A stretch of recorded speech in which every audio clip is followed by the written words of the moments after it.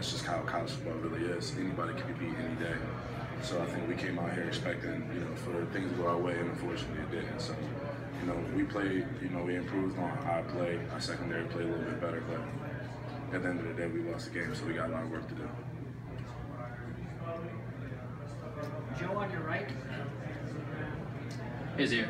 Uh, you guys, I mean, they have scored 34 points, but you had a lot of success. I mean, they only scored two touchdowns in their five red zone trips. Uh, you know, coming into the into the game, what what did you guys know defensively you wanted to, to accomplish, and what do you think that you did accomplish?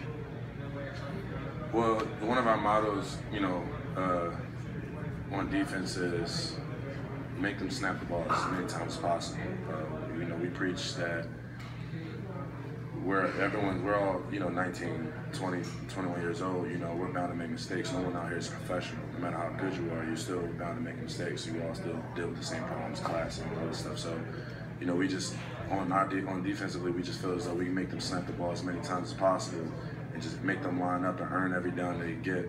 Uh, I think usually, you know, things usually go our way. Uh, you know, unfortunately, didn't go that way today, but you know, I think that's a positive thing. I think we did today, especially in the red zone. Steve in the back on the left. Zaire, Zaire Beck here. Uh, obviously, know you're disappointed with the loss, but you go into the bye week three and one.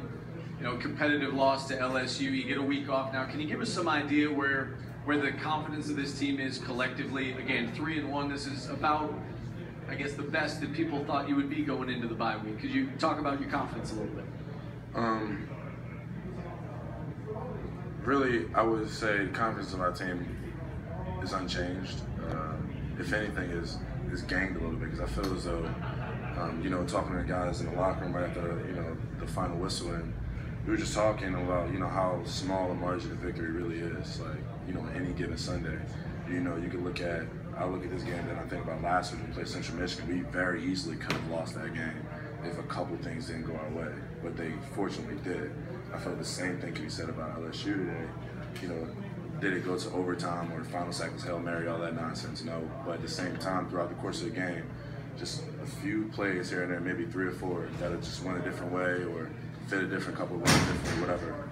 You know, things could have went differently. So I think, you know, heading into the bye week and, you know, in South Florida, we just got to focus on being the little things. You know, I feel like we're, we were really close today and, you know, we're close to where we want to be as a team and I feel like we get a little bit healthy. I think you know with, with Irv and you know a couple, hopefully a couple other people come back or, or not, but definitely I think we, we just need to work on the little things. I think we'll be where we want to be.